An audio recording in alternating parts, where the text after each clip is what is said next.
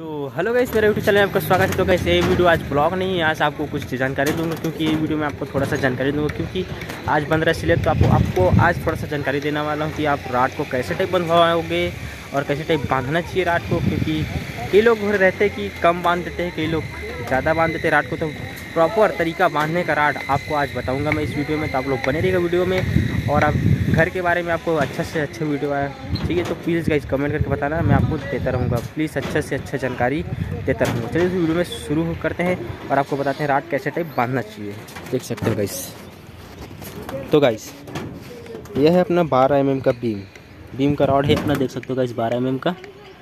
आपको दिखा देता हूँ बारह एम का बीम का रॉड है और हर रिंग बंधा हुआ है गाइस छः छः इंच की स्पेस में। छः और सात इंच की स्पेस में बंधा हुआ है। और गाइस हम लोग हम लोग मान रहे हैं स्लेब फुल स्लेब। तो गाइस ये अपना फुल स्लेब है तो इसमें राड है छोटा हो जाता है। तो गाइस मैं बता रहा था कि इसमें प्रॉपर तरीके से राड को अपना लेपिंग किया जा किया जाना चाहिए। क्योंकि ये देख सकते हो अभी हमारा हम लोग किए लाइव राड को लेपिंग अपना डेढ़ से दो डेढ़ से दो फीट तक किए हुए हैं। तो ऐसी टाइप का आपको राड को लेपिंग करवाना है डेढ़ से दो फीट तो हम लोग बाँध रहे हैं अभी चटाई आप देख सकते हो। इसमें हम लोग चट्टी को पूरा छः छः इंच की स्पेस में बांधे हुए हैं और देख सकते हो गाइस अपना चटाई को बंधा हुआ है और हर राड को हम लोग प्रॉपर प्रॉपर तरीके से हम लोग दो फीट लेपिंग ही किए हुए हैं क्योंकि हरदम लेपिंग आपको दो फीट ही रखना चाहिए। और देख सकते हो गाइस पूरा कालम साफ़ रहना चाहिए कास्टिंग कास्टिंग कॉलम में हरदम मसाला नहीं रहना चाहिए क्योंकि मसाला रहता तो पकड़ नहीं मिलता हमारा कॉलम पूरा भी साफ़ है, ऐसे ही साफ़ करके रखना चाहिए। तो वैसे आप लोग देख सकते हो, पूरा हर राड भी छः इंच बाई छः इंच में ही बंधा रहा है राड ऐसे टाइप बांधना चाहिए हरदम छः बाई छः इंच में ही बाँध, राड बांधना चाहिए। और देख सकते हो वैसे हमारा सिलेब बहुत बड़ा है अभी। तो हम लोग इसे बाँध रहे हैं। आपको और आगे दिखाएँगे करेंगे कैसे टाइप उठाना चाहिए और कैसे टाइप उठा रहना चाहिए।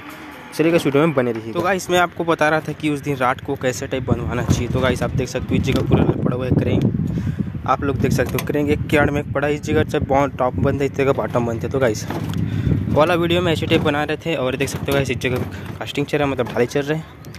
इस जगह है पूरा ढलाई और गाइस इस जगह पूरा ढलाई हो रहा है। तो गाइस मेरे तो गाइस मेरे चैनल में नहीं तो प्लीज़ चैनल को सब्सक्राइब करके पहले कॉल कर देना। और दोस्तों नई वीडियो आपको घर के रिलेटिव पूरा बताता रहूँगा। तो गाइस मेरे चैनल में नहीं हो तो प्लीज़ चैनल को सब्सक्राइब करके पहले कौन कौन करें चलो इस वीडियो को एंड करते हैं। और गाइस आप लोगों को कुछ भी चीज़ का ज़रूरत पड़े कमेंट है लाइक करें। जय हिंद, जय भारत।